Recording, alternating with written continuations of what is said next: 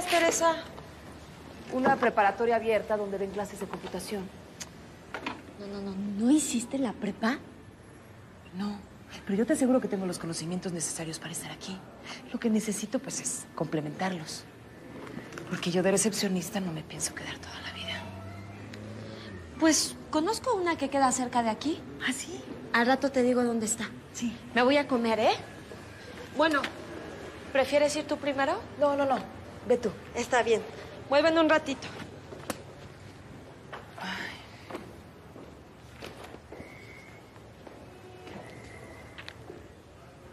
A que ni se imagina. En la guía esa que me dio, me encontré un restaurante de cabrito. Vamos a comer, ¿no? No, no, señor de la Garza.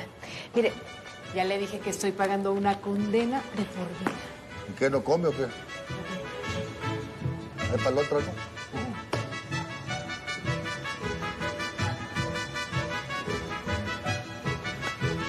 ¿Cómo le estaré yendo a mi hija en su primer día de trabajo? Muy bien, Clarita, porque el gerente es una persona honorable, muy considerado con los empleados. Qué bueno que mi gaviotita cayó en blandito, porque no tiene experiencia. Lo suyo era el campo. Oiga, Clarita, ¿y cómo fue que ustedes vinieron a parar a la capital? Mi muchacha tuvo una decepción de amor.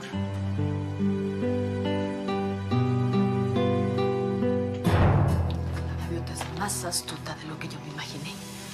Está jugando con Rodrigo para sacarle hasta la risa con su bastardo.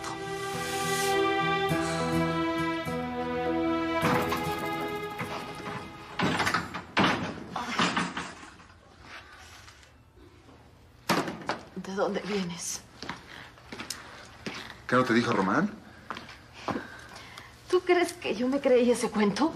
Ay, Isadora, por favor, no empecemos a discutir. ¿Qué haces levantada? A ver, ven acá. Agárrate de Estoy mi brazo. fastidiada de estar ahí. Despacito, despacito, despacito. Pero ¿cómo te levantas si todavía no estás bien? A ver, Cuidado. a ver, estira. Estira las piernas. Ya sé por qué estás buscando a esa mujer. Te está chantajeando con ese hijo.